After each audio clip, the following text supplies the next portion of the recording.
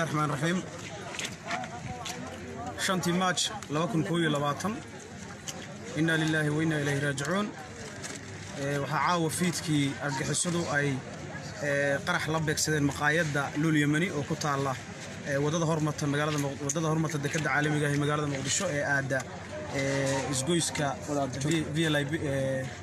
via roma. Ujeeddada ayaa ahayd in argixisadu ay qarax u isticmaalaan oy ku weeraraan dad shacab ahaa oo ku qaxweyn jiray ama u tegi jiray u cashayn iyo baashaal tegi jiray maqaayaddaas luul yemani oo ah markii labaad in ay la beegtaan ismiidaamin qarax.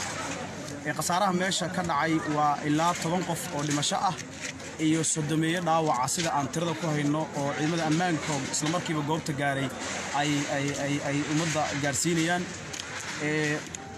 khasaarahaas ayaa keenay qaraxaas meesha ka dhacay oo ahaa mootada nooca qaada xamuulka lagu qaado oo laga soo buuxsho walxaha qarxa ayaa lagu weeraray sida aan xogta hordhac ah ku hayno.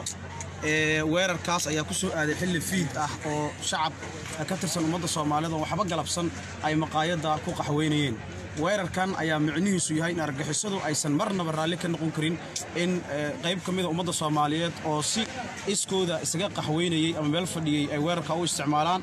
Ma ahan markii koowaad argixisadu dad shacab ahoo meel fadhiyey ay weerarka noocaasa ku qaaddo. Arrimahan waxay imaanayaan xilli aad la socotaan magaalada marxaladda ay ku jirto iyo in isjiijiid dhanka dhigista bannaanbaxyada ay jireen oo sababta dowladdu ay u diidaysay ay ahayd in falalka noocaan oo kaleeta ah ee la helo cid mas'uuliyaddeeda qaadata si dadka looga ilaaliyo in argagixisadu ay meel cidla ah dadkeenna maalin kasta ku laayaan. Qaraxaas caawa dhacay ayaa khasaarihiisu intaa yahay. Waxaa kaleetoo jira burbur hantiyeed oo goobta ka agdhowaa oo qaraxu uu sababay. Waxaan leenahay ilaahay ha u naxariisto intii goobtaa ku dhimatay. Sidoo kaleeto ilaahay ha u boogadhayo dadka shacabka ahaa ee waxba galabsan ee argagixisadu ay goobtaas maantay ku dhaawacday. Intaas ayaa khasaaruhu caawa la egyahay dee wixii kaleeto faahfaahinaya baarista arrintan oo socota.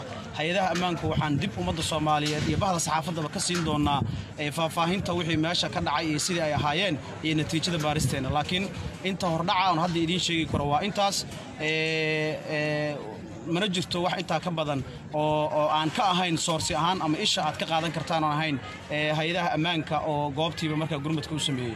Waa mahadsantihiin asalaamu calaykum waraxmatullahi wabarakaatu